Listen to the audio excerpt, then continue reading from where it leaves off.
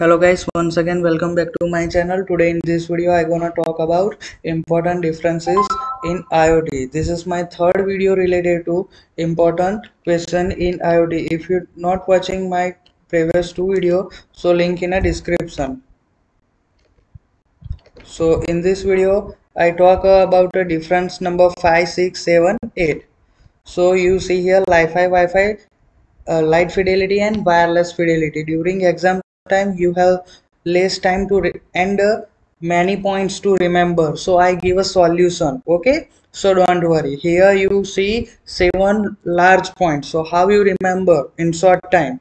This is a trick okay? So you see here tf square bsc what is this? This is nothing but the uh, small uh, small words okay?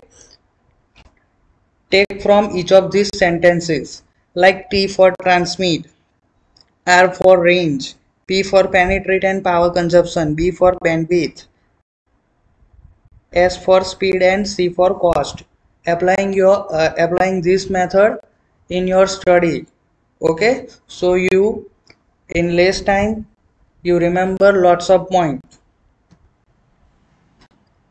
You see here IPv4, IPv6 different, S raised to 4 D square D. Okay, so you pause the screen take screenshot and uh, try to according me okay? Here public cloud and private cloud s raised to 4 hcu and uh, last one is hybrid cloud community cloud.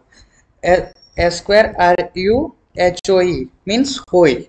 S square r u hoi. Also you can remember one type of song okay?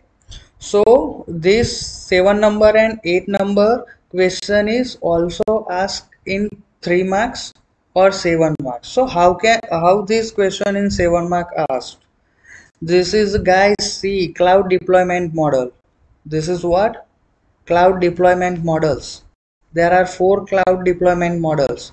So using these two differences you remember already 7 marks question okay? Cloud deployment model. So this this video is for exam purpose to ready lots of point in short time okay? If you like this video then you hit the like icon and hit the subscribe button okay? And share with others